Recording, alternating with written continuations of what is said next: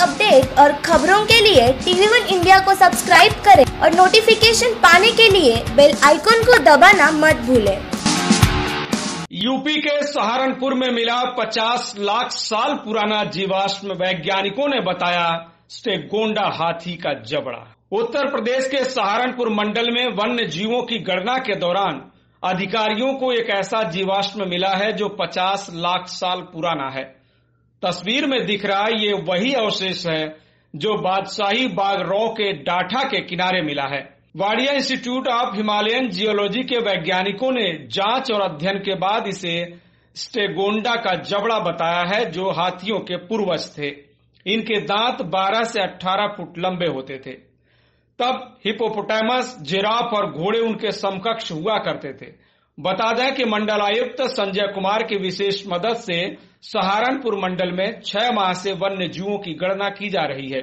मुख्य वन संरक्षक वी के जैन ने इसकी जानकारी देते हुए जीवाश्म के बारे में और क्या कुछ कहा, आइए सुनाते हैं। ये जो स्ट्रक्चर ये जो फॉसिल्स है, ये लगभग 50 लाख वर्ष पुराना है और ये हाथी का जबड़ा दांत जो जिसको बोलते हैं मोलर टीथ वो है। और ये बेसिकली मिडिल शिवालिक में ये डिपोजिशन रहा होगा।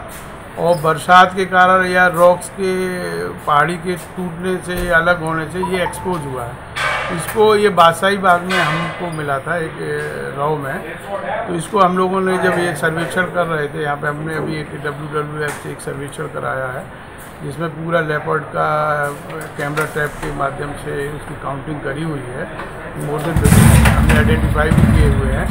तो ये उसी दौरान सर्वेक्षण के दौरान मिला तो ये फिर हमने बाडिया इंस्टीट्यूट से Himalayan institute of Wadia Himalayan institute of geology Dehradun से वहाँ के साइंटिस्ट से मिले और उनसे पूरा इंटरेक्शन किया। फिर उनके म्यूज़ियम को भी विज़िट किया।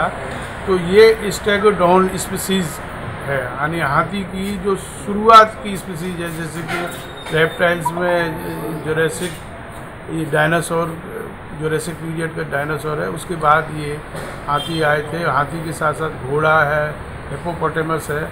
ये 50 लाख से अधिक पुराना इसकी उम्र बताई गई है और उनके द्वारा इसका असेसमेंट किया गया। Bureau report, TV one India.